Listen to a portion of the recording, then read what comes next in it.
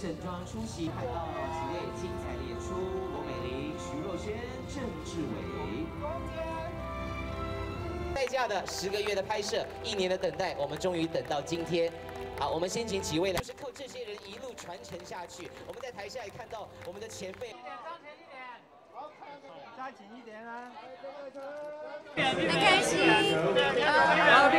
今天晚上跟那个南科大导演，因为第一次走红毯，他很紧张，所以我要招呼他一下。然后我们今天会颁最佳编剧奖，